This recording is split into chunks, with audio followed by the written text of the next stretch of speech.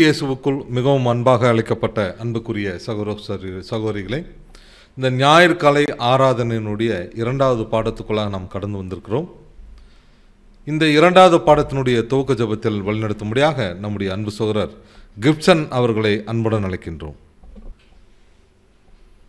ஜபம் செய்வோம்.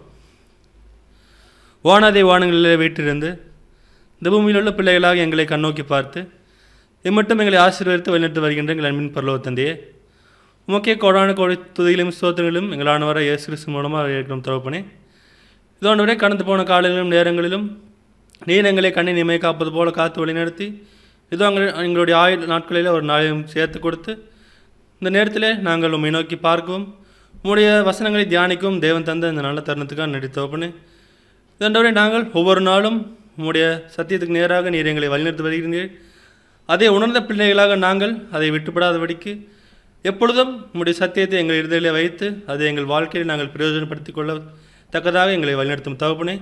இப்பொழுதும் கேட்கவிருக்கும் பாடத்தை நீர் ஆசிர்வித்து தாரும். இன்னும் ஆண்டவரே நாங்கள் அதே விதமாக உங்களுடைய சத்தியத்தை கேட்டு உமக்கேற்ற ஒரு ஜீவியத்தை வாழ தேவன் தாமே கிருவை தர வேண்டுமே கூட ஜபிக்கிறோம் தகப்பனே. மீதியான காலத்தை முழுவதும் உமது கருத்தில் ஒப்படைக்கிறோம். தேவன் தாமே ஆசிர்வதிக்க வேண்டுமாயும். தாழ்மையான மன்றாட்டுக்களை கத்தரும் ரச்சகம் மீட்பரும் ராஜாவும் இருக்கிற கிறிஸ்தியஸின் விளையாட பெற்ற நாமத்திலே உங்களுக்கு கிருபை நிறைந்த பொற்பாதம் பண்ணுகிறோம் எங்கள் நல்ல பிதாவே. ஆமேன். கிறிஸ்துவுக்குள் அன்பாய் அழைக்கப்பட்ட அன்புக்குரிய சகோதர சகோதரிகளே இந்த நாளினுடைய இரண்டாவது பாடமாக ராஜ்யத்தில் பங்குதாரர்கள் என்கிற தலைப்பின் கீழே நம்முடைய அன்பு சகோதரர் ஜெரால்ட் அவர்கள் இந்த நாளுக்குரிய தேவனுடைய வார்த்தைகளை நம்முடைய பகிர்ந்து கொள்வார்கள். பிதாவாகிய தேவனாலும் குமாரனாகிய கிறிஸ்துவுக்குள்ளும் அன்பாய் கிடைக்கப்பட்ட அருமையான சகோதர சகோதரிகளே தேவன் நமக்கு மீண்டுமாக ஒரு நாளை கூட்டி கொடுத்தது மட்டுமல்லாமல் அவருடைய இருவையில வார்த்தைகளை பெற்றுக்கொள்வதற்கும் நமக்கு தேவன் கிருவை பாராட்டியிருக்கிறார் தேவனுக்கு நமதான இயேசு கிறிஸ்து மூலம் ஸ்துதிகளையும் ஸ்தோத்திரங்களையும் நாம் ஏறெடுத்துக்குவோம் உங்கள் அனைவருக்கும் பரிசுத்த முத்தம் கலந்த அன்பின் வார்த்தைகளை தெரியப்படுத்திக் கொள்கிறேன். அன்பிற்குரிய சகோதர சகோதரர்களே விசேஷமாக இந்த கொரோனா போன்ற இந்த வைரஸ் இருக்கக்கூடிய காலத்திலே தேவனுடைய பிள்ளைகளாகிய நமக்கு தேவன் அநேக வாய்ப்புகளை தந்து கொண்டிருக்கிறார். அநேக பாடங்களை கேட்டுக்கொள்வதற்கும் அநேக பாடங்களை பேசுவதற்கும் நமக்கு அநேக வாய்ப்புகளை தந்து கொண்டிருக்கிறார்.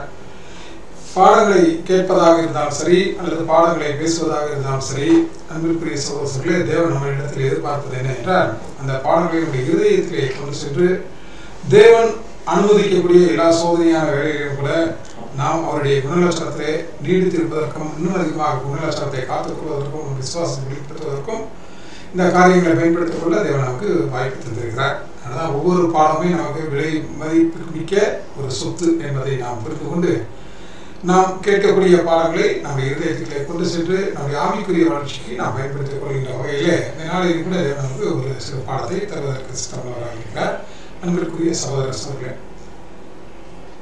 இந்த பாடத்தினுடைய தலைப்பு கூட நம்ம பார்த்துருக்கிற பொழுது ராஜ்யத்தினுடைய பங்குதாரர்கள். யாருடைய ராஜ்யத்தினுடைய பங்குதாரர்கள்? பிதாவாகிய தேவன் நமது ஆண்டவராக இயேசு கிறிஸ்துவின் மூலமாக செய்யக்கூடிய ஆயிர வருட அரசாட்சியிலே இயேசு கிறிஸ்துவோடு ஆளுகை செய்யக்கூடிய பங்கு வரக்கூடிய பங்குதாரர்கள். அன்புக்குரிய சகோதரி அப்படின்னா இவர்கள் யார் என்று சொல்கின்ற பொழுது வேதம் சொல்கிறது இவர்கள் தான் தேவனுடைய புத்திரர்கள். அப்படின்னா இயேசு கிறிஸ்துவோடு ஆளுகை செய்யக்கூடிய ஆளுகை செய்வதற்கு இந்த விழுது போன ஆதாமின் சந்ததியிலிருந்து தேர்ந்தெடுக்கக்கூடிய ஒரு சிறு கூட்டம் இந்த சிறு கூட்டம் ஆண்டவரோடு சேர்ந்து ஆளுகை செய்ய போகிறார்கள் என்றால் இவருடைய செலெக்ஷன் எப்படிப்பட்டதாக இருக்கும் என்பது நம்ம நிறைய காரியங்களை நம்ம பார்த்துருக்கோம்.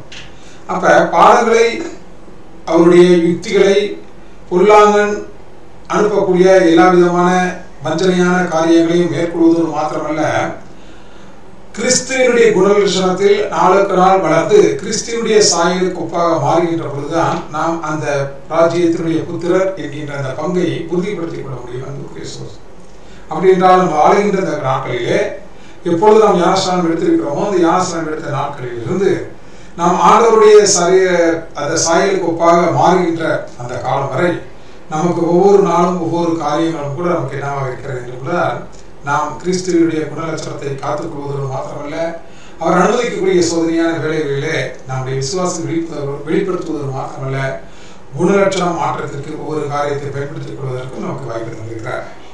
ஏன் அப்படிப்பட்டதான ஒரு வாய்ப்பு தந்திருக்கிறார் என்று பார்க்கின்ற பொழுது நாம் கிறிஸ்துவினுடைய சாயலுக்கு ஒப்பாக மாறுவதற்கு குணலட்சண மாற்றம் நமக்கு அவசியம் அன்புக்குரிய சகோதர சோதரர் காரணம் என்ன என்று பார்க்கின்ற பொழுது நமது அப்போஸ்தலராகிய பேதரு நமது ஆண்டவராக இயேசு கிறிஸ்துவிடம் அவருடைய முதலாம் வருகையிலே நமது ஆண்டவராக இயேசு கிறிஸ்துடைய முதலாம் வருகையிலே அப்போஸ்தலராகிய பேதரு நமது ஆண்டவரிடம் கேட்டார். ஒரு கேள்வி கேட்டது நமக்கு எல்லாருக்கும் தெரியும். ஆண்டவரே நாங்கள் எல்லாவற்றையும் விட்டுவிட்டு உங்க பின்னாடி வந்துட்டோமே. எங்களுக்கு என்ன கிடைக்கும் என்று கேட்கிற பொழுது நமது ஆண்டவராக இயேசு கிறிஸ்து சொன்ன பதில் நாம் படிக்கலாம். மற்ற பத்தொன்பதாம் அதிகாரம் இருபத்தி ஏழாவது வருஷம் அப்பொழுது பேதுரு அவரை நோக்கி இதோ நாங்கள் எல்லாவற்றையும் விட்டு உம்மை பின்பற்றினோமே எங்களுக்கு என்ன கிடைக்கும் என்றான் என்ன கிடைக்கும் என்றால் அதற்கு கிறிஸ்து என்ன பதில் சொல் பின்னர் நீங்களும். இஸ்ரவேலின் பன்னிரண்டு கோத்திரங்களையும் நியாயம் தீர்க்கிறவர்களாக. பன்னிரண்டு சிங்காசனங்களின் மேல் வீற்றிருப்பீர்கள் அந்த வார்த்தையை நம்ம பார்த்தோம் அப்படின்னா இப்பொழுது என்னை பின்பற்றுகிற நீங்களும் அப்படின்னு என்ன அர்த்தம் பார்க்கும் பொழுது ஆண்டவராக இயேசு கிறிஸ்து அவன் சீஷர்களுக்கு கொடுக்கக்கூடிய மிகப்பெரிய ஒரு வாய்ப்பு நான் பார்த்துருக்கிறோம். ஒருவன் என்னை பின்பற்றி வர தன்னை தன்னைத்தான் வெறுத்து தன் சிலுவையை எடுத்துக்கொண்டு அனுதினமும் என் பின்னாடி வரணும் அதான் சொல்றேன் இப்போ பாருங்க இப்பொழுது என்னை பின்பற்றுகிறார்னா இந்த இந்த பூமியிலே வாழ்கின்ற நாட்களிலே எனது வார்த்தைக்கு கீழ்ப்படிந்து அந்த வார்த்தை நிமித்தம் பாடுகளை அனுபவித்து அந்த பாடுகளின் நிமித்தம் நம்முடைய குணலட்ச மாற்றங்கள் கிறிஸ்துவினுடைய சாயல் ஒப்பாக மாறுவதற்கு யார் முழுமையாக தங்களை அர்ப்பணிக்கிறார்களோ அவர்களுக்கு தரக்கூடிய ஒரு ஆசீர்வாதமான காரியத்தை தான் நான் பார்த்து கடந்து குறிச்சேன். இதை குறித்து நம்ம பார்க்கின்ற பொழுது ஒன்று பேர் இரண்டாம் அதிகாரம் ஒன்பதாவது வசனத்தை எப்படி படிக்க கேட்கலாம். நீங்களோ உங்களை அந்தகாரத்தினின்று தம்முடைய ஆச்சரியமான ஒளியிடத்திற்கு வரவழைத்தவருடைய புண்ணியங்களை அறிவிக்கும்படிக்கு. தெரிந்து கொள்ளப்பட்ட சந்ததியாயும். ராஜரீகமான ஆசாரிய கூட்டமாயும்.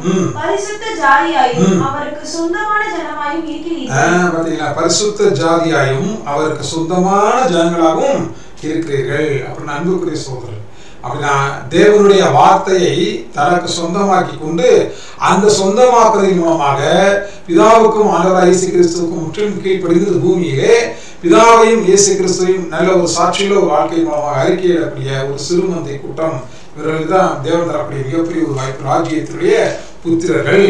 அவர்கள் இப்பொழுது எப்படிப்பட்டவர்களாக இருக்கிறார்கள் என்றால் ஜீவபலியை செலுத்தக்கூடிய ஒரு ஆசாரியர்களாக இருந்து கொண்டிருக்கிறார்கள். இந்த ஜீவபலியை உண்மை இருக்கின்ற பொழுது அதற்கு தேவன் தரக்கூடிய மிகப்பெரிய ஒரு வாய்ப்பு ராஜாக்கள் என்கிற உன்னதமான ஒரு ஆசீர்வாதத்தை தேவன் தரக்கூடிய காரியத்தை பார்க்கிறோம். அன்புக்குரிய சோழம் அப்படி இப்படிப்பட்ட அந்த விசேஷ தலைப்புக்கு வந்திருக்கக்கூடிய தேவனுடைய பிள்ளைகளாகிய நாம் நிச்சயமாக ஜெயிப்போம் என்று வெற்றி பெறுவோம் என்று தேவனும் நமது ஆண்டவராக இயேசு கிறிஸ்துவும் நம்மை விசுவாசிக்கிறார்கள். அன்புக்குரிய சகோதரர்களே அதனால்தான் வெளிப்படுத்த மூன்றாம் அதிகாரம் இருபத்தி ஒன்றாவது வசனம் படிக்கலாம். நான் ஜெயம் கொண்டு என்னுடைய பிதாவினுடைய சிங்காசனத்தில் அவரோடு கூட உட்கார்ந்தது போல அவரோடு கூட உட்கார்ந்து இருப்பது போல ஜெயம் கொள்கிறவன் எவனோ. அவனும் என்னுடைய சிங்காசனத்தில் என்னோட கூட உட்காரும்படிக்கு அருள் அருள் பாருங்க, அன்புக்குரிய சகோதரர் நான் நாம் இந்த வாழ்க்கையை இந்த பூமியிலே வாழ்கின்ற நாட்களிலே தேவன் அனுமதிக்கக்கூடிய எல்லா விதமான சோதனைகள் மத்தியிலே நாம் அவருடைய பிள்ளை என்பதை எப்படி காட்டப் போகின்றது பாடத்தை பேசுவதனால் அல்ல அல்லது பாடத்தை கேட்பதனால் அல்ல அன்புக்குரிய சோழர்களே அந்த பாடங்களை நாம் பயன்படுத்தி கொண்டு கிறிஸ்துவின் சாயல் கோப்பாக மாறுவதற்கு நமக்கு தேவன் வாய்ப்பு கொடுத்திருக்கிறார். அதனாலதான் இந்த பாடத்தில் கூட நம்ம பார்க்கின்ற பொழுது அன்புக்குரிய சகோதர சோழர்களே அந்த ராஜ்யத்திலே பங்கு பெறக்கூடிய ராஜ்யத்தின் புத்திரர்கள் என்ற ஸ்தானத்தை தேவனுடைய பிள்ளைகளாக பெற்றிருக்கக்கூடிய பிள்ளைகளாகிய நாம் அந்த ராஜ்யத்திலே மகிமையான இந்த ராஜ்யத்திலே பங்கு பெறுவதற்கு அது பங்குதாரர்களாக நாம் இருப்பதற்கு இந்த பூமியிலே தேவன் நமக்கு அநேகமான வாய்ப்புகளை தந்து கொண்டிருக்கிறார் விசுவாசத்தை வெளிப்படுத்துவதற்கான வாய்ப்புகளை தந்திருக்கிறார். அதனால தான் நான் படிக்கிற பொழுது பழைய ஏற்பாட்டில் இருக்கக்கூடிய அந்த முற்பிதாக்கள் அவருடைய காரியங்கள் எல்லாமே பின்னாடி வாழக்கூடிய அந்த புதிய உடன்படிக்கையினுடைய புதிய ஏற்பாட்டு காலத்தில் வாழக்கூடிய பரிசுத்த வாழ்க்கை நமக்கு அது மிகுந்த ஒரு ஆசீர்வாதத்தை தரக்கூடியதாக இருக்கிறது. அதாவது நம்ம ஏற்கனவே படிச்சிருக்கிறோம் இல்லையா? முன்பு எழுதியிருக்கவர்கள் ஆம் நமக்கு என்னவா இருக்கு அப்படின்னா போதனையாக இருக்கிறது. எல்லாம் திருஷ்டாந்தங்களாக அவர்களுக்கு சம்பவித்தது. உலகத்தின் முடிவு காலத்தில் உள்ள நமக்கு அது என்னவா இருக்கு அப்படின்னா ஒரு முன்மாதிரியாக இருக்கிறது. அன்புக்குரிய எச்சரிக்கை உண்டாக்கக்கூடிய காரியமாக இருக்கு. அப்படின்னா பழைய ஏற்பாட்டினுடைய அந்த முற்பிதாக்களினுடைய வாழ்க்கை நம்முடைய ஆவிக்குரிய வாழ்க்கைக்கு அன்புக்குரிய சொல்ல மிகுந்த ஒரு பிரயோஜனம் உள்ளதாக அந்த பாடத்தை குறித்து தான் இந்த நாளிலே பார்க்க போகிறோம் முற்பிதாக்களுடைய காரியத்தில் அந்த முற்பிதாக்கள் வரிசையில் இருக்கக்கூடிய முக்கியமான ஒருவருடைய காரியத்தை பார்க்க போகிறோம். அன்புக்குரிய சகோதர சொல்லி அப்படி என்றால் நமக்கு எல்லாருக்கும் தெரிஞ்ச விஷயங்கள் தான். ஆபிரகாம் என்றால் உங்களுக்கு என்ன ஞாபகம் வருகிறது? அப்படின்னு பார்த்தா நமக்கு எல்லாருக்கும் தெரிஞ்ச விஷயம் தான். விசுவாசம் ஞாபகம் வருகிறது. தானியேல் அப்படின்னு நம்ம எடுத்துக்கிட்டா என்ன ஞாபகம் வருது அப்படின்னு பார்க்கின்ற பொழுது நமக்கு ஒரு அழகான ஒரு குணலட்சணம் அவருடைய தைரியம் வெளிப்படுத்தக்கூடிய காரியத்தை பார்க்கிறோம். யோசேப்பு அப்படின்னு நமக்கு எடுத்துக்கொண்டால் கற்பு என்பது ஞாபகம் வருகிறது. சரி ஈசாக்கு என்று எடுத்துக்கொண்டால் நமக்கு எது ஞாபகம் வருகிறது என்றால் கீழ்ப்பிடுதல் வருகிறது அன்புக்குரிய சொல். ஆனால் அந்த கீழ்ப்பிடுதலுக்குள்ள அவர் ஒரு சமாதானமான ஒரு வாழ்க்கை வாழ்ந்திருக்கிறார்.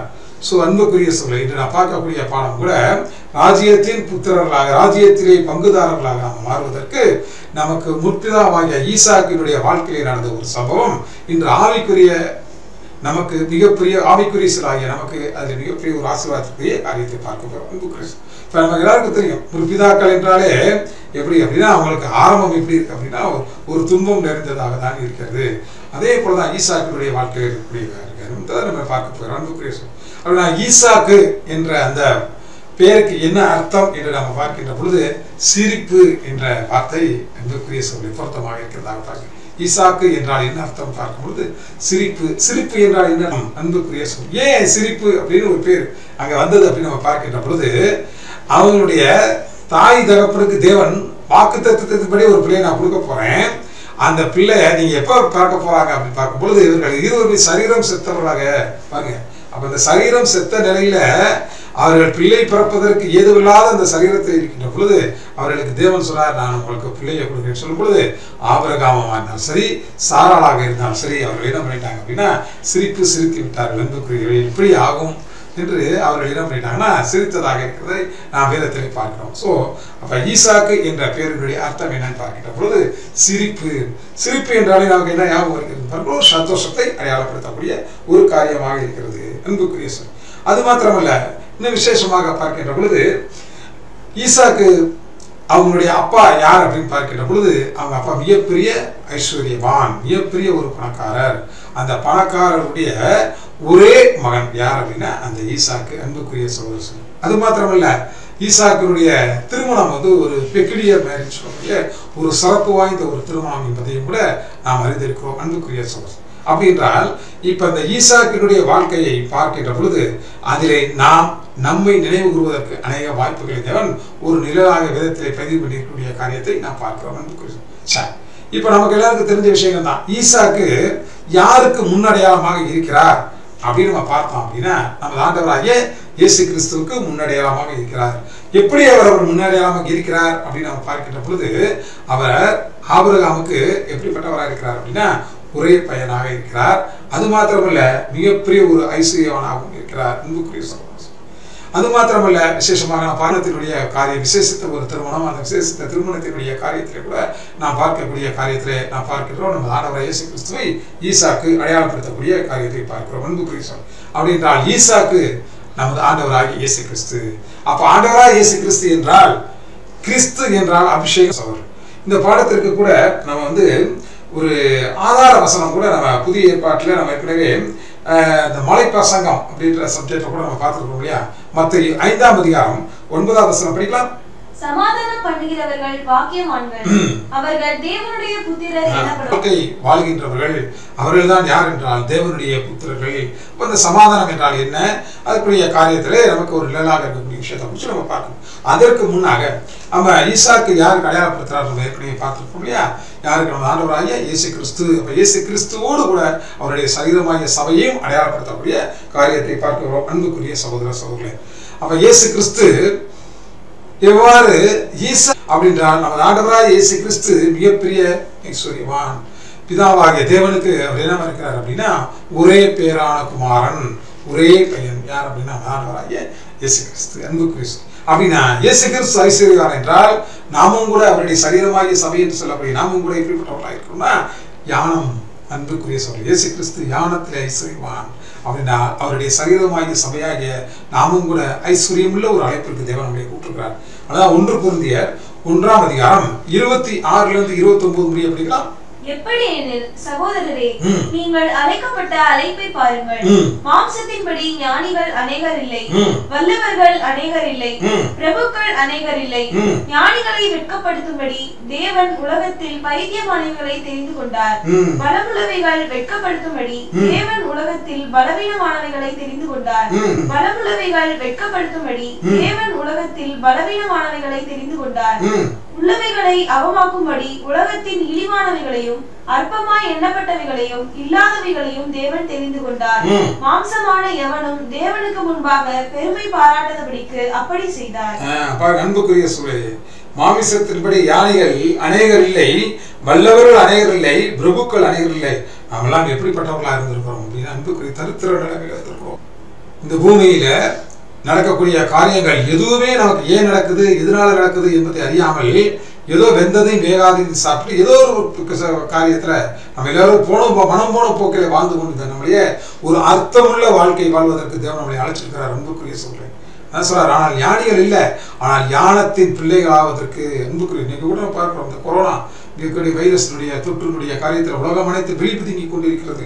இவையெல்லாம் ஏன் நடக்கிறது எதனால் நடக்கிறது என்று அவர்கள் பலவிதமான நம்மளை பார்த்து சொல்றார். நாம் இப்ப எப்படிப்பட்டவர்களா இருக்கிறோம் என்றால் ஐஸ்வர்யவான்கள் கிறிஸ்துவிற்குள்ள ஞானத்தில் பிறந்த பிள்ளைகள் அன்புக்குரிய சொல் அப்படின்றால் நமக்கு கூட இன்னும் அதிகமாக நம்ம பார்க்கின்ற பொழுது நாம் எப்படி ஐஸ்வர்யவான்கள் அப்படின்னு நம்ம பார்க்கின்றோம் என்றால் அன்புக்குரிய சோசலே யாக்கோபு இரண்டாம் அதிகாரம் ஐந்தாவது படிக்கலாம்? என் பிரியமான சகோதரரே. கேளுங்கள். தேவன் இவ்வுலகத்தின் தரித்திரரை விசுவாசத்தில் ஐஸ்வர்யவான்களாகவும் ம். தம்மிடத்தில் அன்பு கூறுகிறவர்களுக்கு தாம் வாக்குத்தத்தம் பண்ணின ராஜ்யத்தை சுதந்திரிக்கிறவர்களாகவும் தெரிந்து கொள்ள வாக்கு தத்தம் பண்ணின ராஜ்யத்தை சுதந்திரிக்கக்கூடியவர்கள் அன்புக்குரிய சகோதர சொல்ல இன்டர்நேஷனல் கேபினட் மினிஸ்டர்ஸ் எவ்வளவு பெரிய மிகப்பெரிய ஒரு ஆசீர்வாதத்திற்கு ஒரு அழைப்பு தேவன் நமக்கு கொடுத்துரு அப்படின்றால் நாம் ஐஸ்வர்யவான்கள். யார் மூலமாக? கிறிஸ்துவின் மூலமாக தேவன் நம்மை உயர்த்திருக்கக்கூடிய ஒரு காரியத்தை பார்க்கிறோம். இப்ப உலக ஜனங்களில் எப்படிப்பட்ட நிலைமையில் இருக்கிறார்கள் என்றால் ஏதும் அறியாத நிலைமையில் அன்புக்குரிய சகோதர சொல்ல எதனால நடக்குது என்ன நடக்குது என்பதை அறியாமல் ஒவ்வொரு ஜனமும் பயத்தோடும் திகிலோடும் நடுக்கத்தோடும் ஒரு நாளை கூட கடப்பதற்கு அவ்வளவு பாடுபடக்கூடிய ஒரு சூழ்நிலை மத்தியில அன்புக்குரிய தேவன் நம்மளை ஐஸ்வர்யவான்கள் என்று உன்னதமான நிலைமைக்கு கூட்டிருக்கிறார் அப்படின்னு ஐஸ்வர்யவான்கள் எப்படி நாம் அப்படின்னு பார்க்கின்ற பொழுது விசுவாசத்திலே தேவனுடைய பிள்ளைகள் ஐஸ்வர்யவான்களாக இருக்கிறோம். அதனால தேவன் நமக்கு என்ன பாய்ப்பு கொடுத்திருக்கிறார்? ராஜ்யத்தினுடைய புத்திரர்கள் ராஜ்யத்தை சுதந்திரிக்கக்கூடியவர்கள் ராஜ்யத்திலே பங்குதாரர்கள் என்ற உரிமையை கொடுத்துருக்கிறார். அப்படி எப்படி நம்மளை ஐஸ்வர்யவான்கள் நம்ம சொல்றோம்ன்றத அப்படின்னு உங்களுக்கு கேள்வி வருகிறது. அன்புக்குரிய சொல்லி கிருபையினாலே அன்புக்குரிய சொல்லு உலகம் அனைத்தும் பாவத்தின் சம்பளமாகிய மரணத்தை சுமந்து கொண்டிருக்கிறார் ஆதாமின் சந்ததி ஒட்டுமொத்த ஆதாமின் சந்ததியின் பாவத்தின் சம்பளமாகிய மரணத்தை சுமந்து கொண்டிருக்கக்கூடிய இந்த நாட்களிலே தேவன் அந்த விழுந்து போன ஆதாமின் சந்ததியில் இருந்த நம்மை ஆசீர்வாதத்தினாலே அவருடைய கிருபையினாலே நம்மை ரட்சிப்புக்கு கொண்டு வந்ததோடு மாத்திரமல்ல அந்த ரட்சிப்பிலே நாம் நிலைத்து நிற்பதற்கு அன்புக்குரிய சொல்ல எப்பொழுதெல்லாம் இந்த ரட்சிப்பினுடைய காரியத்தை விட்டு நாம் விலகி சென்றாலும் கூட அப்பொழுது நமக்கு சிக்ஷைகளை நம்முடைய வாழ்க்கையை அனுமதித்து நாம் மீறுகின்ற பொழுது சிக்ஷைகளை அனுமதித்து அந்த சிக்ஷைகளின் மூலமாக நாம் தேவனிடத்திலே உணர்வுகளை கொண்டு வர செய்து மீண்டுமாக தேவனோடு ஒப்புரவாகி நாம் தொடர்ந்து அவருடைய கிருவையிலும் ஐஸ்வர்யத்திலும் நிலைத்திருப்பதற்கு நமக்கு தொடர்ந்து ஆவியின் கிருவியை தந்து கொண்டிருக்கிறார் என்று சொல் அப்படின்றால் ஒவ்வொரு நாளும் கிறிஸ்துவனுடைய குணலட்சணத்தை வளர்வதற்கும் மாத்திரமல்ல அந்த குணலட்சணத்தை நிலைத்திருப்பதற்கும் நமக்கு கிருவியை கொடுத்திருக்கிறார். அதனாலதான் மத்திய பதினோராம் அதிகாரம் இருபத்தி ஆறாவது வசனம். படிக்கலாம் ஆம் ஆம் பிதாவே இப்படி செய்வது. பாத்தீங்களா அன்புக்குரிய சொல்லு யாம் பிதாவே இப்படி செய்வது உம்முடைய திருவுளத்திற்கு பிரியமாய் இருக்கிறது. அப்ப தேவனுடைய திருவுளத்திற்கு பிரியமான காரியத்தை செய்வதற்கு தேவன் இந்த பூமியில அற்பரும் குப்பையும் பாவியுமான மிகுந்த ஒரு ஆசீர்வாதத்திற்குரிய ஒரு காரியத்துக்கு அழைச்சிருக்கிறார் அன்புக்குரிய. அப்படி என்றால் பாருங்க அங்க ஆபிரகாம் என்னுடைய பையன் ஈசாக்கு மிகுந்த ஒரு ஐஸ்வர்யுள்ளவராக இருந்தார். இங்கே பிதாவாகிய தேவன் ஐஸ்வர்யுள்ள தேவன் சர்வலோகத்தை படைத்த தேவன் சர்வ வல்லமுள்ள தேவன் அவருடைய ஒரே பேரான குமாரான ஆண்டவராக இயேசு கிறிஸ்து அவருக்குள் இருக்கக்கூடிய நமக்கு அன்புக்குரிய சகோதரர் கிறிஸ்துவுக்குள் இருந்தால் புது சிருஷ்டியாக இருக்கிறான் அந்த புது சிருஷ்டி என்ற நிலைமையில தேவனுடைய ஐஸ்வர்யவாங்க யார் என்றால் நாம் தான் அன்புக்குரிய சகோதர சகோதரர். இந்த ஐஸ்வர்யவான்கள் யாரை அடையாளப்படுத்துகிறது என்று பார்க்கின்ற பொழுது அன்றைக்கு நிழலில் பார்க்கின்ற பொழுது ஈசாக்கு இன்று யாரும் என்றால் ஆண்டவராக இயேசு கிறிஸ்துவும் அவருடைய சரீரமாகிய சபையும் அடையாளப்படுத்தக்கூடிய காரியம். அதான் அடுத்து பார்க்கின்ற பொழுது ஈசாக்கு என்ற பேருடைய அர்த்தம் பார்த்துக்கணும் இல்லையா? சிரிப்பு. சிரிப்பு என்றால் சந்தோஷம். அதனால தேவனுடைய பிள்ளைகள் எப்பொழுதுமே எப்படி பிள்ளைகள்? அப்போ பூசுறார் சந்தோஷமாக இருங்கள். அதனால் நம்ம ஆண்டவராக இயேசு கிறிஸ்து இந்த பூமியில பிறக்கின்ற காலங்களில் வானதூதர்கள் வந்து சொல்லக்கூடிய காரியம் பார்க்கிறோம் லூக்கா ரெண்டாம் அதிகாரம் பத்தாவது வசனம் படிக்கலாம் தேவதூதன் அவர்களை நோக்கி. பயப்படாதிருங்கள். இதோ எல்லா ஜனத்துக்கும் மிகுந்த சந்தோஷத்தை உண்டாக்கும் நற்செய்தியை உங்களுக்கு. பயப்படாதிருங்கள் இதோ எல்லா ஜனத்திற்கும் மிகுந்த சந்தோஷத்தை உண்டாக்கும் நட்சத்திரம் ஆண்டவராக இயேசு கிறிஸ்து பிறக்கின்ற பொழுது உலகம் அனைத்திற்கும் சந்தோஷத்தை கற்கக்கூடிய ஒரு காரியம் இதை குறித்து தான் நம்முடைய அப்போஸ்தலர் பவுல் கூட கலாத்தியர் நாலாம் அதிகாரம் இருபத்தி எட்டாவது வசனத்தில் நம்ம படிக்கலாம் சகோதரரே. நாம் ஈசாக்கை போல ம். வாக்குத்தத்தத்து பிள்ளைகளாய். பார்த்தீங்களா அன்புக்குரிய சொல் இந்த பிள்ளைகள் வாக்கு தத்தத்தின் பிள்ளைகள் அன்புக்குரிய சொல் ஈசாக்கை போல எப்படிப்பட்ட பிள்ளைகளாக இருக்கிறோமா? வாக்கு தத்துவ பிள்ளைகள் அப்படின்னால் எப்பொழுதும் மகிழ்ந்து களி கூற வேண்டிய பிள்ளைகள் எப்பொழுதும் சந்தோஷமாக இருக்க வேண்டிய பிள்ளைகள் சந்தோஷத்திற்குரிய கிரியைகளை சந்தோஷத்திற்குரிய நற்செய்தியை உலக அனைத்துக்கும் எடுத்து செல்வதோடு மாத்திரமல்ல அதை நிமித்தம் வரக்கூடிய பாடுகளை முன்முணுப்பில்லாமல் சந்தோஷம் அனுபவிக்கிறதற்கு தேவனால் தெரிந்து கொள்ளப்பட்ட பிள்ளைகள். இந்துக்குரிய சகோதர சோழர்கள் அதான் சொல்லும் பொழுது ஈசாக்கு என்றால் சந்தோஷம். அந்த சந்தோஷம் யாருக்கு என்றால் இன்று அவருடைய அழைப்பிற்குள்ளே வந்திருக்கக்கூடிய ஆண்டவருடைய பிள்ளைகள் என்று சொல்லக்கூடிய அவருடைய சரீரமாகிய சபையாகிய நமக்கு அப்படிப்பட்ட ஒரு வாய்ப்பை கொடுத்திருக்கிறார் அன்பு கிறிஸ்து. அது மாத்திரமல்ல ஈசாக்கினுடைய திருமணம் நமக்கு எல்லாருக்குமே தெரியும். ஈசாக்கினுடைய திருமணம் வந்து ஒரு பெக்குலியர் மேரேஜ் எப்படி பெக்குலியர் மேரேஜ் அப்படின்னு நம்ம பார்க்கின்ற பொழுது அவருடைய தகப்பனார் பார்க்கின்ற பொழுது அன்புக்குரிய சொல்லு அவர் கூட ஒன்றுக்கு பேர்பட்ட மனைவிகள் இருந்தார்கள். அது மாத்திரமல்ல ஈசாக்கினுடைய குமாரர்களுக்கும் ஒன்றுக்கு பிற்பட்ட மனைவிகள் இருந்தார்கள்.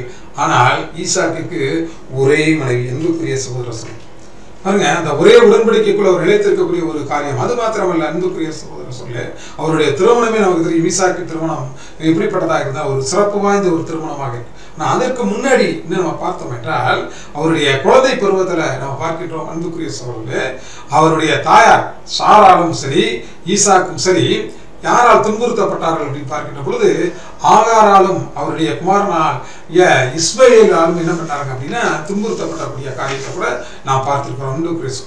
அப்படி என்றால் அவர்கள் மத்தியில இருந்து பாருங்க அவர்கள் மத்தியில இருந்து இவர்கள் பிரித்தெடுக்கப்பட்டார்கள். யார் மத்தியில இருந்து பிரிக்கப்பட்டார்கள் என்று பார்க்கின்ற பொழுது இஸ்மவேலிடமிருந்தும் ஆகாரிடத்திலிருந்து அவர்கள் பிரித்தெடுக்கப்பட்டார்கள். அன்புக்குரிய சகோதர சோழர்கள் அப்படின்றால் அந்த இஸ்மவேல் கூட இப்போ யாருக்கு அடையாளமாக இருக்கிறது அப்படின்னு நம்ம பார்த்தோம் அப்படின்னா நமக்கு எல்லாரும் தெரிஞ்ச விஷயங்கள் தான்.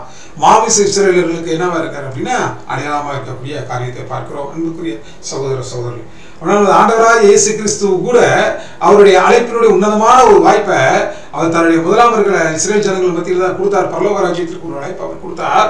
அவர்கள் அதை கேட்காதனால நமக்கு திரும்பியா கிபி எழுபதுல இந்த அழைப்பு இப்ப யாருக்கு போயிடுச்சு அப்படின்னா புரோஜாதிக நம்மிடத்துல வந்திருக்கக்கூடிய காரியத்தை பார்க்கிறோம். அன்புக்குரிய சகோதரர் சொல்றேன் அப்படின்னா தேவனுடைய மிகப்பெரிய ஒரு வழிநடத்துதல் ஈசாக்கினுடைய ஒவ்வொரு வாழ்க்கை ஒவ்வொரு காரியத்தையும் தேவனுடைய மிகப்பெரிய ஒரு வழிநடத்துதல் விசேஷமாக பார்த்தோம் என்றால் அவருடைய திருமணத்துல மிக மிக அருமையாக இருக்கக்கூடிய ஒரு காரியத்தை பார்த்துக்கிறோம் அன்புக்குரிய சகோதர சோழி அப்படின்னா பாருங்க அவங்க அப்பா தன்னுடைய பையனை பொண்ணை பார்க்கறதுக்கு அனுமதிக்கல.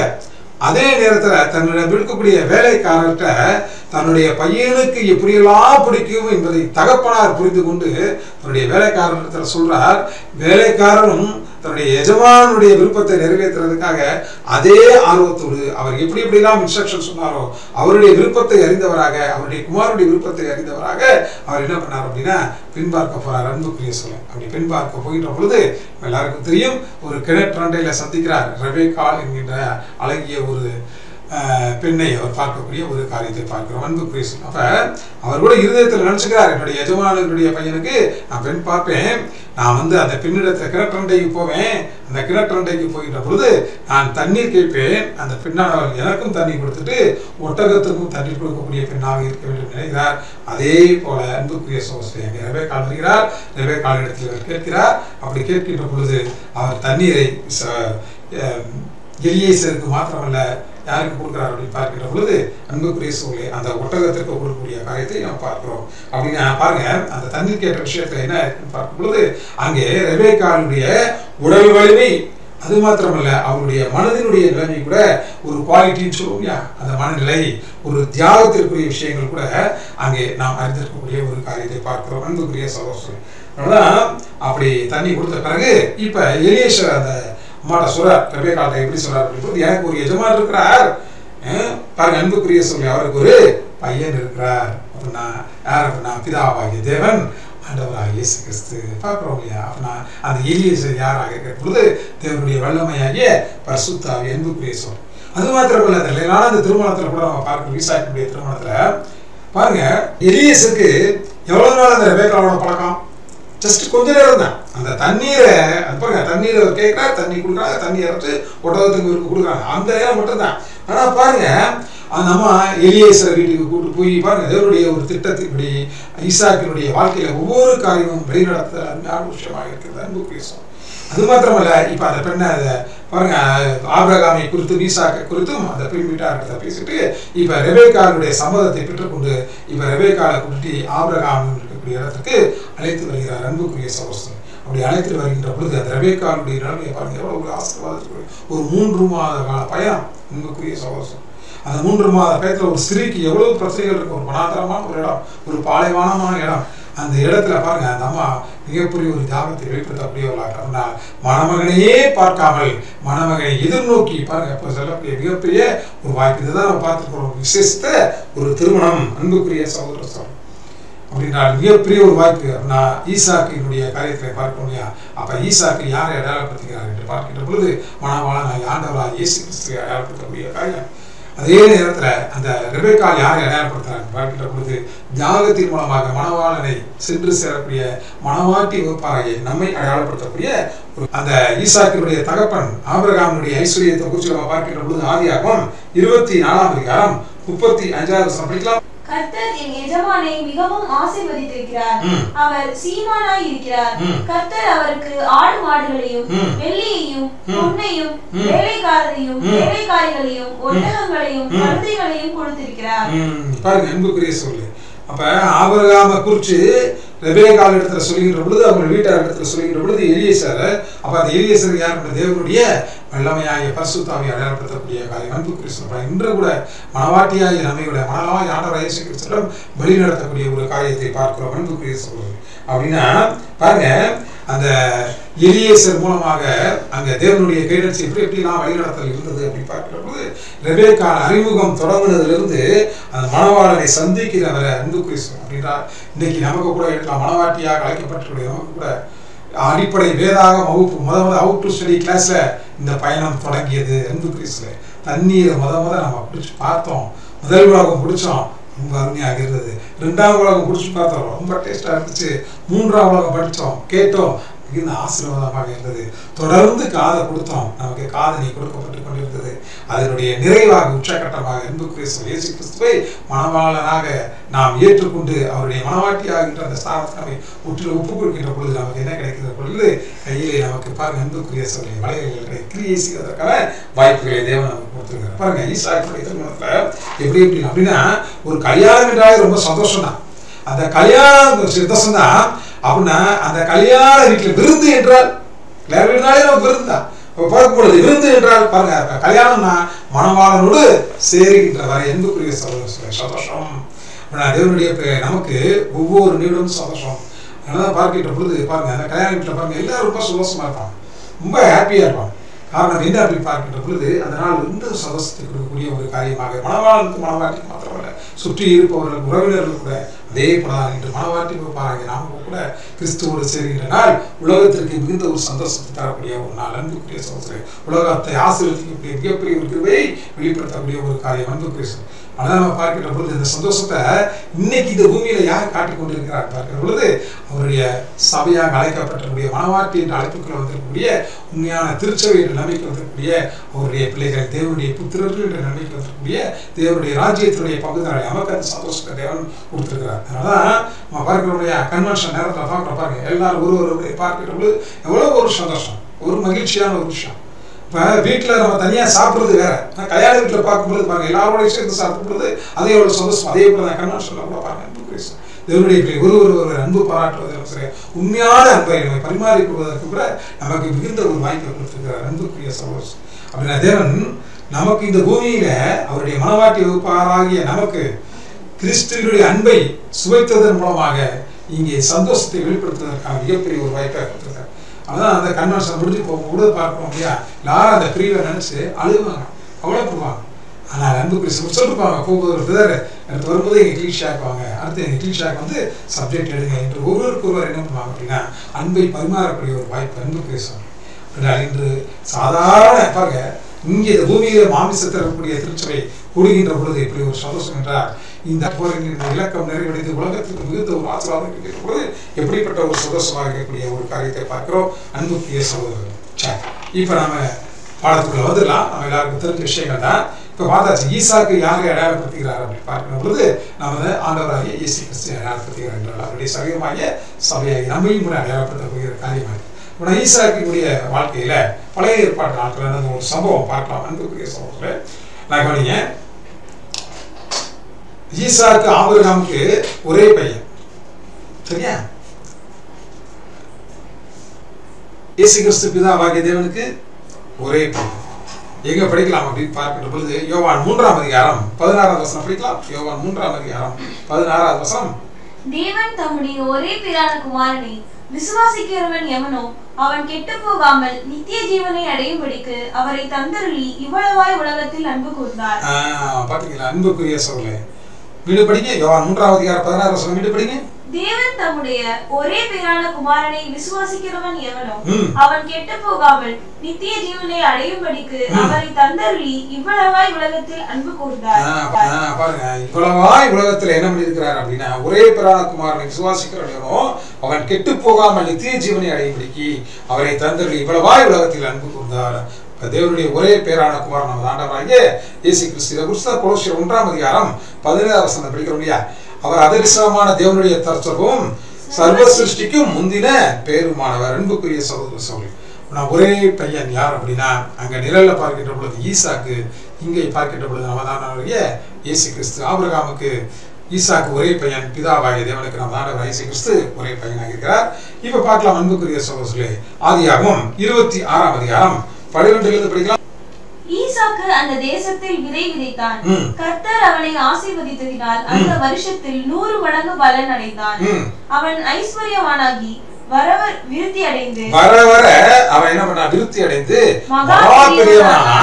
அவனுக்கு ஆட்டு மந்தையும் மாட்டு மந்தையும் அநேக பணிவிடைக்காரரும் இருந்தபடியினாலே. பெலிஸ்தர் அவன் பேரில் பொறாமை பாருங்க அன்புக்குரிய சகோதர சொல்லு வந்துச்சா என்ன வந்தது? அவன் ஐஸ்வர்யவனாகி வர வர விருத்தி அடைந்து மகா பெரியவனானான். யாரு? ஈசாக்கு. மகா பெரியவனானார். அவனுக்கு ஆட்டு மந்தையும் மாட்டு மந்தையும் அநேக பணிவிடைக்காரர் இருந்தபடினாலே பிலிஸ்தியர் அவன் மேல என்ன வெட்டினாங்க. அப்படின்னா பொறாமை கொள்ள ஆரம்பிச்சிட்டாங்க அன்புக்குரிய சகோதர சொல்லு. நான் பாருங்க ஐஸ்வர்யவனா இருக்கிறார். இத்தரலான செல்வத்துக்கு அதிபதியாக இருக்கிறார். ஆட்டோமேட்டிக்கா கூடவே என்ன வந்துருச்சு அப்படின்னா கிரீஸ்தியர் இடத்துல இருந்து அவருக்கு பொறாமை வந்து விட்டது அன்புக்குரிய சகோதர சொல்ல அப்படின்னா இந்த பக்கம் அப்படியே நம்ம வரலாம். ஆண்டவராக இயேசு கிறிஸ்துவனுடைய முதலாம் வருகையில் தேவனுடைய ஒரே பராகுமாராய் ஆண்டவராக இயேசு கிறிஸ்து மிகப்பெரிய ஐஸ்வர்யவான் அப்படி ஐஸ்வர்யவனாக இயேசு கிறிஸ்து அடிமையின் ரூபம் எடுத்து இந்த பூமியில வந்து இங்க இந்த பூமியில தேவனுக்கு பிரியமான பலியை செலுத்துவதற்கு வந்திருக்கிறார்.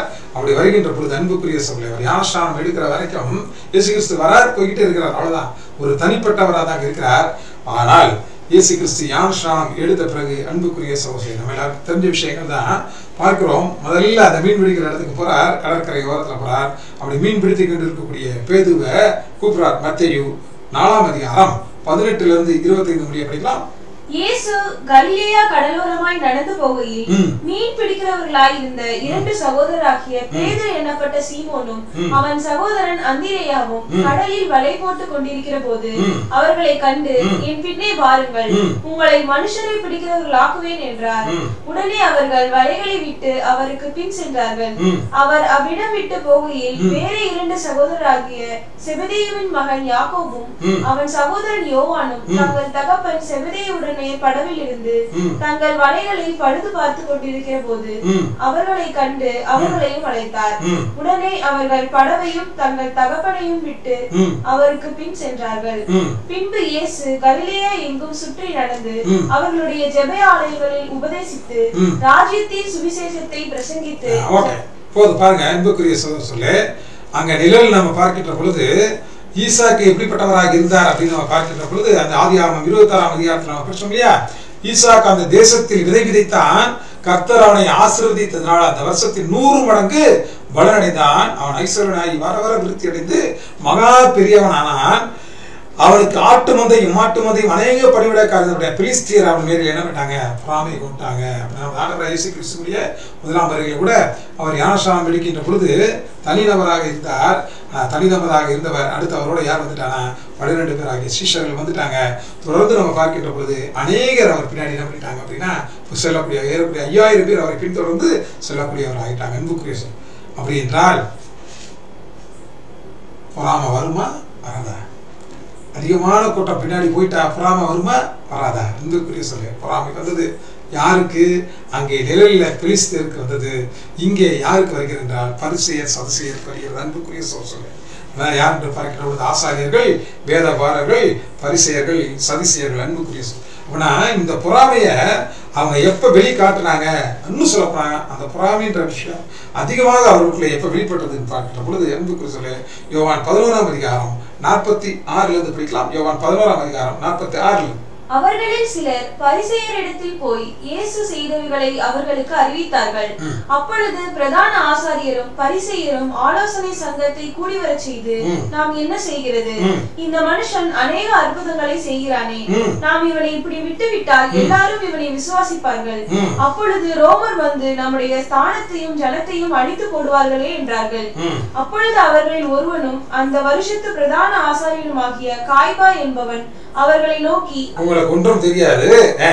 ஒன்றும் தெரியாது. ஜனங்கள் எல்லாரும் கெட்டு போகாதபடிக்கு ஒரே மனுஷன் ஜனங்களுக்காக மரிப்பது நமக்கு நலமாய் அன்புக்குரிய சகோதர சொல்லு திட்டம் போடுறாங்க பிளான் பண்றாங்க. பொறாமை பொறாமை வந்து அடுத்து கொலை செய்யறதுக்கான திட்டம் போடுறாங்க அன்புக்குரிய சகோதர நான் பார்க்கும்போது ஏன் பொறாமை வந்தது அப்படி பொழுது தனிநபராக இருந்த இயேசு கிறிஸ்து அவரோட கூட ஒரு பனிரெண்டு பேர் வந்துட்டாங்க.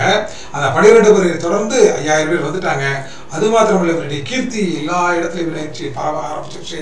அதில் விசேஷமாக லாசிறுவை உயிரோடு எழுப்புகின்ற பொழுது வரக்கூடிய ஒரு காரியத்தை பார்க்கிறோம். அவர்கள் மத்தியில் பொறாமை வந்தது.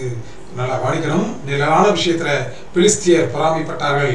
இங்கே நிஜமான விஷயத்தை பார்க்கின்ற பொழுது நம்ம ஆண்டவராக இயேசு கிறிஸ்துடைய நாட்களிலே அந்த வேதபாரர்கள் ஆசாரியர்கள் பரிசெயர்கள் சதசியர்கள் பொறாமை கொள்ள ஆரம்பித்து விட்டார்கள். அன்புக்குரிய சகோதரர்கள் தொடர்ந்து படிக்கலாம். ஆதியாகமம் இருபத்தி ஆறாம் அதிகாரம் பதினைந்தாவது வருஷம் படிக்கலாம். அவன் தக மண்ணினால் நிரப்ப நிரப்பி போட்டார்கள். அபிமெலேக்கு ஈசாக்கை நோக்கி நீ எங்களை விட்டு போய்விடு. எங்களை பார்க்கிலும் மிகவும் அவன் தகப்பனாகி ஆபிரகாமின் நாட்களில் அவனுடைய வேலைக்காரர்கள் தொடர்புகளை எல்லாம் தூர்த்து மண்ணினால் என்ன பண்ணிட்டாங்க? பாருங்க கிணறுலாம் பாருங்க புறாவை வந்துச்சு. புறாமை வந்துட்டு அவங்க என்ன பண்ணிட்டாங்க? பார்க்கும்போது அந்த வேலைக்காரர் வீட்டின தொடர்புகளை எல்லாம் தூர்த்து மண்ணினால் நிரப்பி போட்டார்கள். அபிமேலேக்கு ஈசாக்கை நோக்கி நீர் எங்களை விட்டு போய்விடு. எங்களை பார்க்கலும் மிகவும் பலத்தவனாய் இருக்கிறாய் என்றான். பலத்தவனானாய் என்றார்கள் அன்புக்குரிய சகோதர சோழர்களே அதான் நம்ம ஆண்டவராக இயேசு கிறிஸ்துடைய முதலாம் வருகையில கூட பாருங்க அங்க அபிமலக்கு எங்களை விட்டு போயிரு அப்படின்னு சொல்றார். நீ பலத்திட்ட இங்க நம்ம ஆண்டவராக இயேசு கிறிஸ்துடைய நாட்களை பார்க்கிற பொழுது மத்திய எட்டாம் அதிகாரம் இருபத்தி எட்டுல இருந்து படிக்கலாம் அவர் அக்கறையிலே ம். கெர்கனி- கெர்கசேனர் நாட்டில் வந்தபோது. பிசாசு பிடித்திருந்த இரண்டு பேர். பிரேத கல்லறைகளில் இருந்து புறப்பட்டு. அவருக்கு எதிராக வந்தார்கள். அவர்கள் மிகவும் கொடியராய் இருந்தபடியால். அந்த வழியாக ஒருவனும் நடக்க கூடாதிருந்தது. அவர்கள் அவரை நோக்கி இயேசுவே தேவனுடைய குமாரனே. எங்களுக்கும் உமக்கும் என்ன. காலம் வரும் முன்னே எங்களை வேதனைப்படுத்த இங்கே வந்தீரோ என்று கூப்பிட்டார்கள் ம். அவர்களுக்கு கொஞ்ச தூரத்தில் அநேகம் பன்றிகள் கூட்டமாக மேய்ந்து கொண்டிருந்தன. அப்பொழுது பிசாசுகள் நீர் எங்களை துரத்துவீரானால் நாங்கள் அந்த பன்றி கூட்டத்தில் போகும்படி உத்தரவு கொடும் என்று அவரை வேண்டிக் கொண்டன. அதற்கு அவர் போங்கள் என்றார். அவைகள் புறப்பட்டு பன்றி கூட்டத்தில் போயின. அப்பொழுது பன்றி கூட்டம் எல்லாம் உயர்ந்த மேட்டிலிருந்து கடலிலே பாய்ந்து ஜலத்தில் மாண்டு போயின. அவைகளை மேய்த்தவர்கள் ஓடி பட்டணத்தில் சென்று இந்த சங்கி- சங்கதிகள் எல்லாவற்றையும் பிசாசு பிடித்திருந்தவர்களுக்கு சம்பவித்தவைகளையும் அறிவித்தார்கள். அப்பொழுது அந்த பட்டணத்தார் யாவரும் இயேசுவுக்கு எதிர்கொண்டு வந்து அவரை கண்டு.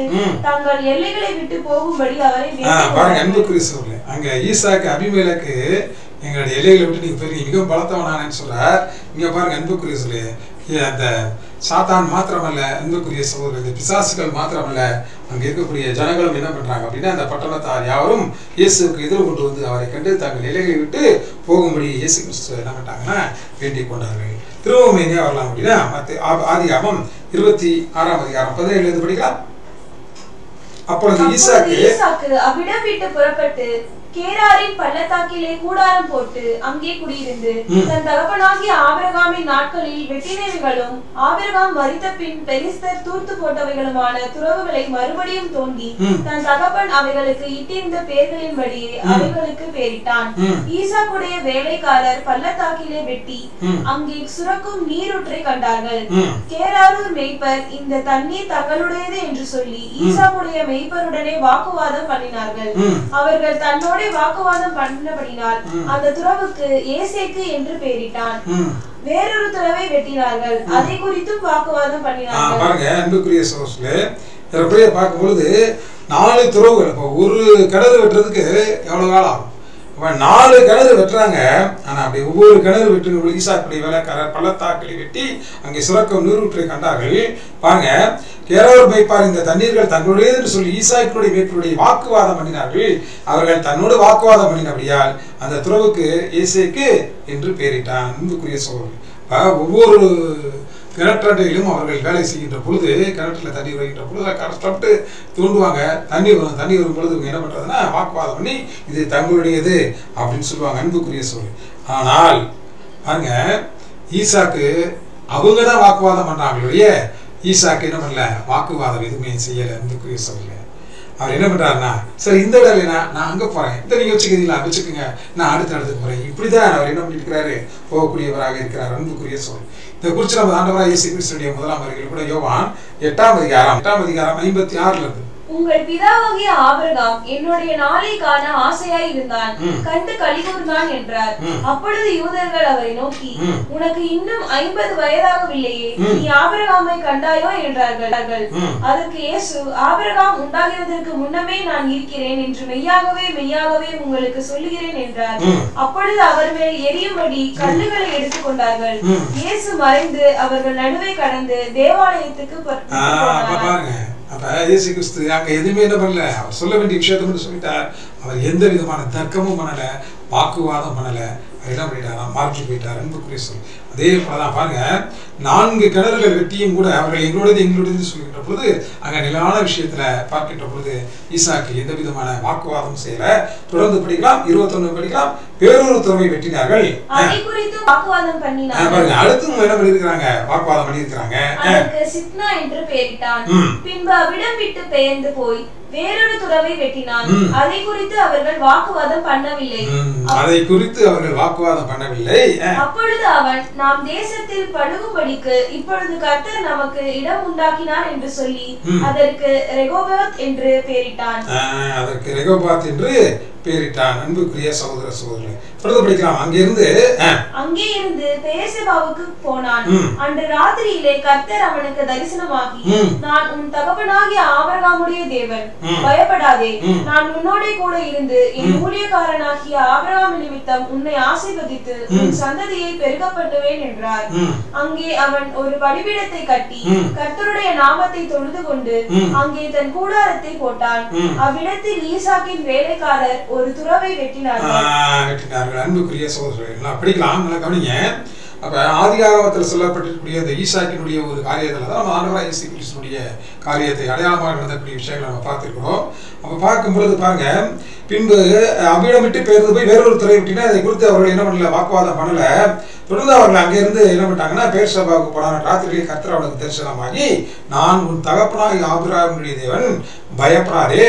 நான் உன்னோடே கூட இருந்து என் ஊழியக்காரனாக ஆபிரகாம் நித்தம் உன்னை ஆசீர்வதித்து உன் சந்ததியை பெருக பண்ணுவேன் அன்புக்குரிய சொல்லி பாருங்க இஸ்ரேலுக்கு அந்த அழைப்பு வானத்து நட்சத்திரம் என்கிற மிகப்பெரிய ஒரு வாய்ப்பு இஸ்ரேல் ஜனங்களுக்கு.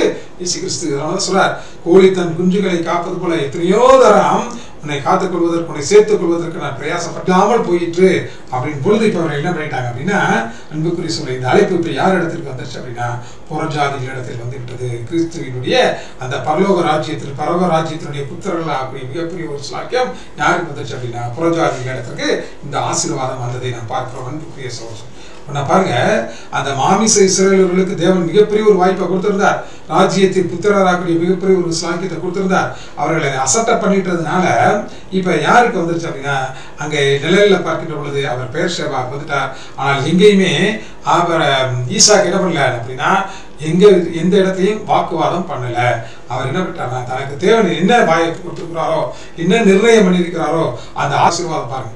தேவன் ஆபிரகாம் நிமித்தம் அவர்கள் என்ன பண்ணியிருந்தார் அப்படின்னா மிகப்பெரிய ஒரு ஆசீர்வாதத்தை அவர்களுக்கு கொடுத்தக்கூடிய ஒரு காரியத்தை பார்த்துக்கிறோம். அதனாலதான் அந்த உண்மையான யூதர்கள் இருக்கிறாங்க இல்லையா? அந்த மா- மாமிச இஸ்ரேலர்கள். அவங்க ரஷ்யாவில் இருக்கும் பொழுது பார்த்தீங்க அப்படின்னா அவங்க கொஞ்சம் பேராக வந்திருந்தாங்க. ஆனால் அவங்க என்ன ஆகிட்டாங்க அப்படின்னா மெஜாரிட்டி மெஜாரிட்டி ஆகிட்டாங்க மெஜாரிட்டி ஆகி பார்க்கும் பொழுது பாருங்க அவங்க அவங்க கடைசியில் என்ன சொல்லிட்டாங்க அப்படின்னா நீங்கள் ஊருக்கு திரும்பி போங்க அப்படின்னு சொல்லிட்டாங்க. பாருங்க நீங்கள் எங்கள் ஊருக்கு கிளம்பி போயிருங்க அப்படின் பொழுது அந்த இஸ்ரேல் ஜனங்கள் என்ன பண்ணிட்டாங்க அப்படின்னா ரஷ்யாவிலேருந்து அவங்க எங்கே போயிட்டாங்கன்னா திரும்பி போகிறத பார்க்குறோம் அன்பு கிறிஸ்து அது மாத்திரமல்ல அந்த ஜெர்மனியில் கூட பார்க்குறோம் ஹிட்லருடைய நாட்களில் அந்த யூதர்களுடைய வளர்ச்சியை கண்டு அவருக்கு என்ன வந்துருச்சு அப்படின்னா ஹிட்லருக்கு மிகப்பெரிய ஒரு பொறாமை வந்தக்கூடிய காரியத்தை கூட நம்ம பார்க்கிறோம் அன்புக்குரிய சகோதர சொல்லி. அதனால தான் அவர் என்ன பண்ணார் அப்படின்னா அந்த யூதர்களை என்ன பண்ணியிருக்கிறார் அப்படின்னா அழிக்கக்கூடிய காரியத்தை பார்த்துருக்கோம் அப்படின்னா அந்த ஆதி ஆமம் இருபத்தாறாம் அதிகாரத்தை நான் பார்த்துருக்கக்கூடிய அந்த ஈசாக்கினுடைய வாழ்க்கையில் நடந்தக்கூடிய ஒரு காரியம் பாருங்க.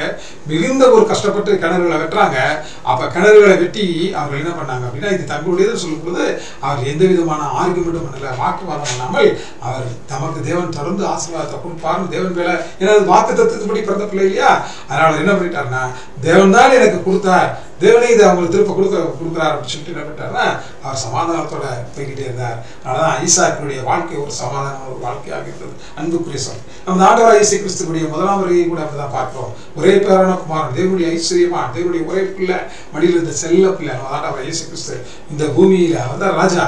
ஆனால் பாருங்க அங்க ஒரு ஆட்டுக்குட்டியாக சாந்தமாக தேவனுடைய தந்த பொறுப்பை நிதானமாக சமாதானத்தோடு நிறைவேற்றிய ஒரு காரியத்தை பார்த்திருக்கிறோம் அன்புக்குரிய சொல் அப்படி என்றால் இன்று ஆண்டவராய் இயேசு கிறிஸ்துவனுடைய மனவாட்டி ராஜ்யத்தினுடைய புத்திரர்கள் ராஜ்யத்தினுடைய பங்குதாரர்கள் என்று சொல்லக்கூடிய நாம் நம்முடைய வாழ்க்கை சமாதானமாக இருக்கிறதா? அன்புக்குரிய சகோதரர் நான் சொல்லும் பொழுது சமாதானம் செய்கிறவர்கள் வாக்கியவான்கள் அவர்கள் எப்படிப்பட்டவர்களாக இருக்கிறான்னா ராஜ்யத்துடைய புத்திரர்களாக இருக்கிறார்கள். அன்புக்குரிய சகோதரர். ராஜ்யத்தின் புத்திரர்கள் தேவனுக்கும் இந்த பூமிக்கு பூமியில் இருக்கக்கூடிய ஜனத்திற்கும் சமாதானத்திற்குரிய காரியங்களை சொல்லக்கூடிய பிள்ளைகளாக இருக்க வேண்டும். அதனால் ஆண்டவர் இயேசு கிறிஸ்து சமாதான கர்த்தராக இருந்தார். இன்று தேவனுடைய பிள்ளைகள் என்று சொல்லக்கூடிய இயேசு கிறிஸ்து மனமாட்டி என்று சொல்லக்கூடிய நம்முடைய வாழ்க்கையில சமாதானம் இருக்கிறதா? நாம் செய்யக்கூடிய ஊழியத்தில் சமாதானம் இருக்கிறதா? அன்புக்குரிய சோதனை அப்படின்னு நாம் நம்மை அப்படி நிதானிப்பதற்கு தேவன் நமக்கு ஒரு வாய்ப்பை கொடுத்திருக்கிறார். இப்போ நமக்கு கூட தெரியும். சமாதானம்ன்ற வார்த்தை இன்னைக்கு உலகத்தார அதை பயன்படுத்துறாங்க. சமாதானம்னா என்ன அர்த்தம்? ரெண்டு பேருக்கு ஒரு பிரச்சனை. இப்போ ரெண்டு பிரதர்ஸ்க்கு இடையே ஒரு பிரச்சனைன்னு வச்சுக்கலாம். அப்போ இந்த ரெண்டு பிரதர்ஸ் இடையில பிரதர் எப்படி இருக்க வேண்டாம் சரி ஓகே இப்படி இருந்துக்கிறோம். ரெண்டு பேரும் நாங்கள் திருத்திக்கிறோம் இப்படி நடத்துக்கிறோம் அப்படின்னு ஒரு இடையில இருக்கக்கூடிய ஒரு சகோதரர் அவர்களை சமரசம் செய்யக்கூடிய ஒரு காரியம் அன்புக்குரிய சகோதரர். ஆனால் வேதம் சொல்லக்கூடிய ஒரு சமாதான விஷயம் என்கின்ற பொழுது நம்ம ஆண்டவராக இயேசு கிறிஸ்துடைய நாட்களில் அவர் எடுக்கிற சண்டை போடுறதுக்கு வராங்க. நல்லா கவனிக்கணும் அவரை கோபப்படுத்துறதுக்கு வராங்க. அவரை சண்டை போடுறதுக்கு தூண்டுறாங்க. ஆனால் இயேசு கிறிஸ்து எங்கேயுமே அவர் என்ன பண்ணல சண்டை போடவில்லை. அன்புக்குரிய சோதனை அதான் பிளாத்து முன்னாடி நிற்கிறார். நீ ராஜாவா? அப்படின்னு கேட்கிறாரு. இயேசு கிறிஸ்து என்ன சொன்னார் நீ சொல்லுகிறபடிதான். நான் தான் ராஜான்னு சொல்லியிருந்தாங்க இங்க நடந்திருக்கும் அன்புக்குரிய சோதனை அதே போல எஸ்ஏமனை தோட்டத்தில் அந்த ரோமனுடைய சோல்ஜர்ஸ் என்ன பண்ணுறாங்க இயேசுக்கு பிடிக்க வராங்க. ஒரு திருடரை கூட பிடிக்க வராங்க. பாருங்க அன்புக்குரிய சோதனை அப்போ கூட பேதர் என்ன பண்றாரு அப்படின்னா அந்த போர் வீரனுடைய அந்த ரோம சேவகனுடைய காதை கூட வெட்டிடக்கூடிய ஒரு காரியத்தை பார்த்து இயேசு கிறிஸ்து என்ன பண்றாரு அப்படின்னா பேதுருவை கடித்து கொண்டு அந்த காதை திரும்ப என்ன பண்ணுறாரு ஒட்ட வைக்கிறார். பாருங்க அன்புக்குரிய சொல்.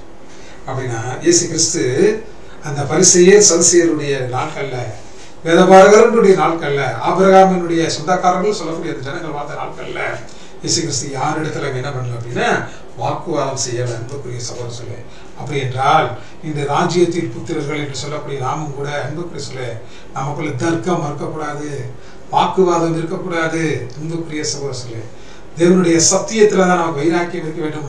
நம்முடைய வைராக்கியம் உள்ள வாழ்க்கை இருக்க வேண்டும். சாட்சியுள்ள வாழ்க்கையில் தான் வைராக்கியம் இருக்க வேண்டும். நம்ம இடத்துல கோபங்களோ தூசரமான வார்த்தைகளோ பாருங்க கசப்புகளோ பொறாமைகளோ தேவனுடைய பிள்ளைகள் மத்தியில் இருந்து விடக்கூடாது.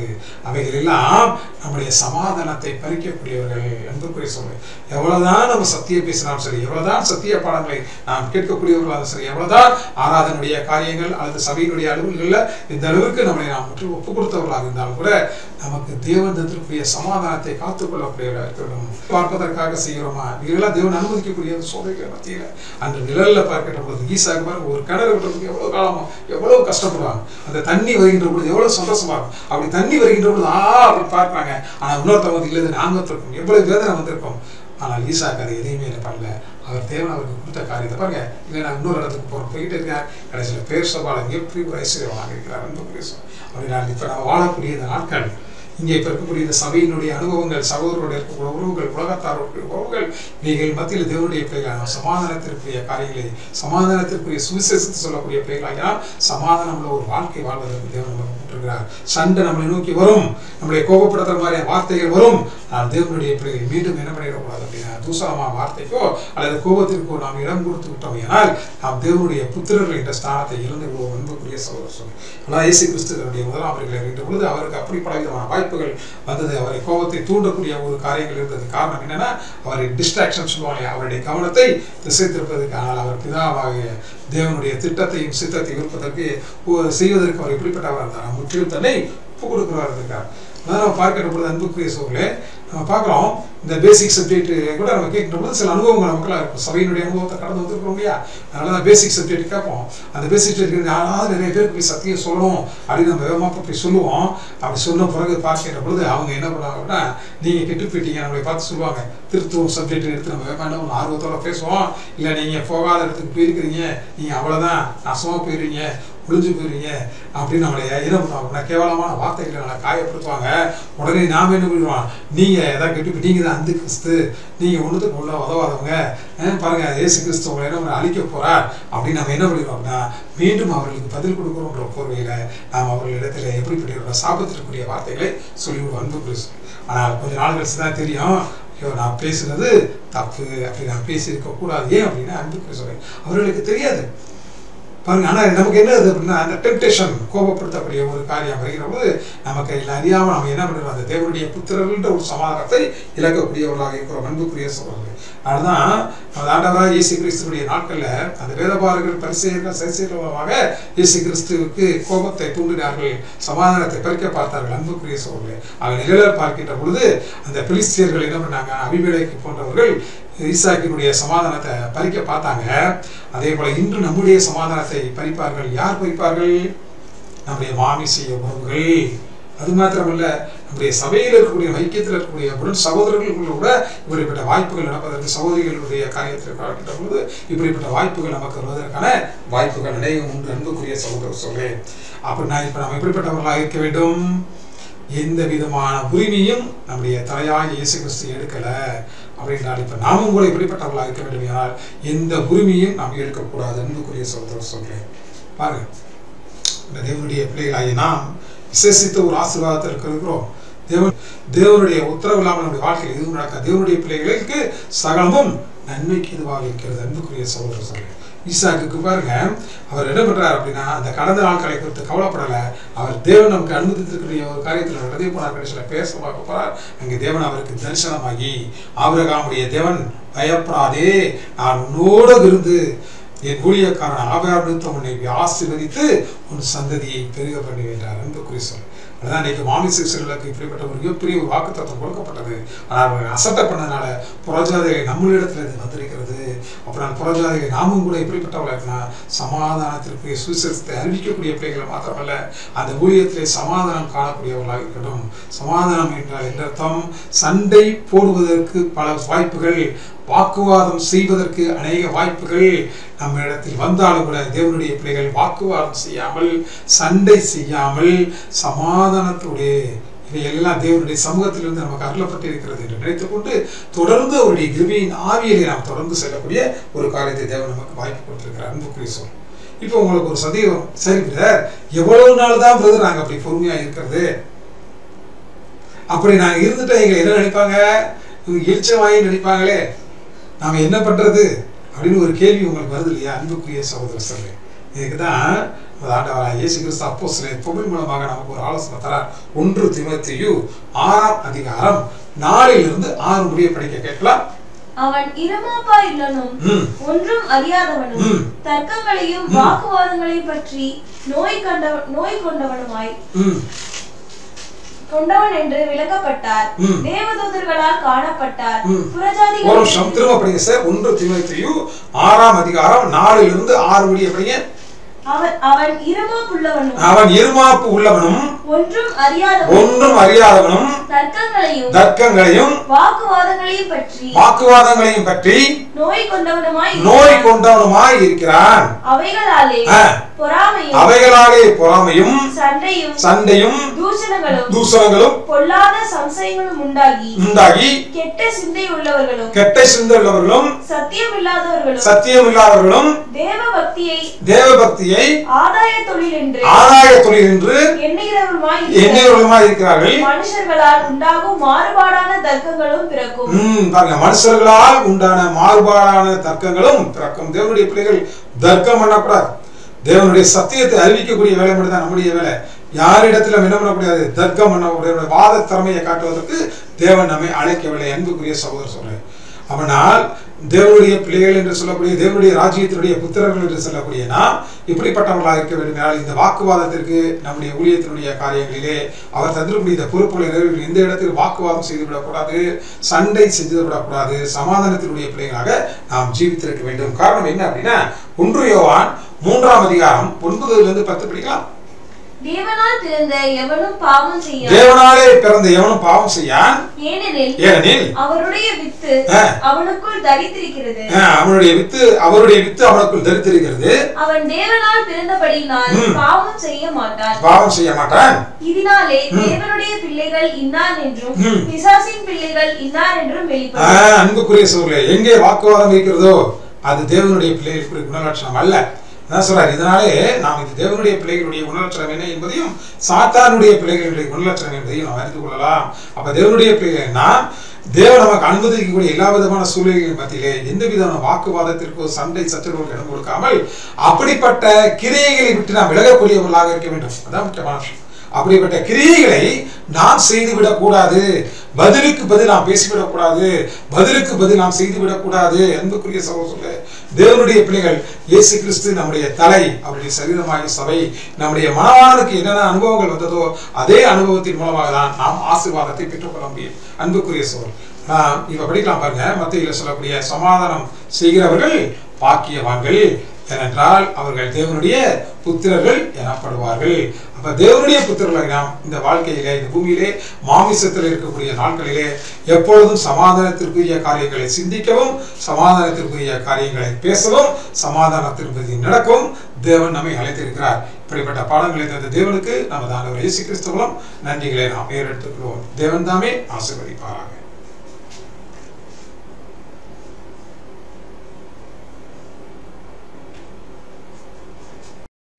அன்புக்குரிய சகோதர சோரிகளே ஆசீர்வாதமாய் கொடுத்த இந்த நாளிலே தேவன் நமக்கு கொடுத்த இந்த விலையேற பெற்ற பாடத்திற்காக கிறிஸ்துக்குள்ளாக நன்றிகளை எடுத்துக்கொண்டு தேவன் தாமே கேட்ட சத்தியத்தின்படி நம்முடைய வாழ்க்கையை சீர்படுத்தி வாழ பரிசுத்தாவின் வழிநடத்தலை அதிகமாய் நமக்கு தந்தருள்வாக. தொடர்ந்து இந்த நாளுக்குரிய நிறைவு ஜெபத்துக்குள்ளாக நாம் கடந்து வருவோம். நம்முடைய அன்பு சகோதரர் கதிரேசன் அவர்கள் நம்மை நிறைவு ஜெபத்திலே வழிநடத்துவார். ஜெபம் செய்வோம். பரலோகத்தில் இருக்கிற எங்கள் அன்பின் பிதாவே. அப்பா பிதாவே இதுவும் பிள்ளைகளாக இருக்கிற எங்கள் ஒவ்வொருவரையும் கரங்களில் ஒப்புக்கொடுக்கிறோம் தகப்பனே. நாங்கள் பாவிகளாகவும் அற்பமாகவும் குப்பைகளாகவும் இருந்த போதிலும் எங்கள் மேல் வைத்த மேலான அன்பினாலும் இறுக்கத்தினாலும் எங்கள் ஒவ்வொருவரையும் இந்நாள் வரை ஆசீர்வதித்த அந்த தயவுக்காரன் செலுத்துகிறோம் தகப்பனே. அப்பா பிதாவே இதோ இந்த நாளிலும் கூட உங்கள் மேலான சத்திய வசனங்களை தியானிக்க தந்த தயவுக்காரன் செலுத்துகிறோம் தகப்பனே. இந்த வசனங்களை நாங்கள் வாழ்க்கையிலே பிரயோஜனப்படுத்தி கொண்டு உங்கள் குகுந்த பிள்ளைகளை வாழ எங்கள் ஒவ்வொருவரையும் தகுதிப்படுத்தி ஆசீர்வதிக்க வேண்டுமாய். ஒரே குமாரனும் எங்கள் ஆண்டவரும் ராஜாவுமாய் இருக்கிற இயேசு கிறிஸ்துவின் விலையேற பெற்ற நாமத்தினாலே கெஞ்சி மன்றாடுகிறோம். ஜீவனால் நல்ல பிதாவே. ஆமீன்.